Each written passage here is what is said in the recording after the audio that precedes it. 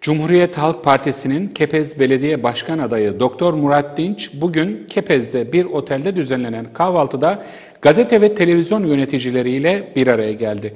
Dinç projelerinden bahsettiği toplantıda Kepez'e ne kadar hakim olduğunu da altını çize çize anlattı. Murat Dinç'in açıklamalarından bazı satır başları geliyor şimdi. Cumhuriyet Halk Partisi'nin Kepez Başkan adayı Doktor Murat Dinç bugün kahvaltıda yerel basınla bir araya geldi. Yaklaşık 28 yıldır Kepez'de hizmet verdiğini söyleyen Dinç, siyasete girmeden önce Kepez'i de sorunlarını da hep yakından takip ettiğinin altını çizdi. Kepez'de parası olamadığı için çok iyi üniversiteleri kazanan çocuklarını okutamayan aileler bildim. Ya da çocuğuna bir dondurma alamadığı için sıkıntı yaşayan babalar gördüm.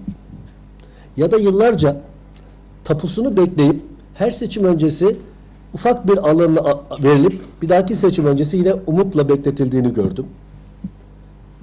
Kepez'in şehirleşme dedikçe yıllar içinde gece konular yıkılıp da şehirleşme denildiğinde sadece modern gece kondular yapıldığını gördüm. Projelerinden de bahseden Dinç özellikle işsizlik sorunu üzerinde durdu. Bakın biz esnaf gezisi yaptığımız zaman 3 gündür 4 gündür siftah yapmadım diyen çok esnafla karşılaştık. Sütçüler Caddesi benim yıllarca muayenehanemin olduğu cadde önceden çok hareketli bir caddeydi.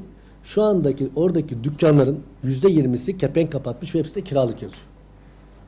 Neden? Çünkü iş yok. Toplantı Doktor Murat Dinç'in soruları yanıtlamasıyla sona erdi.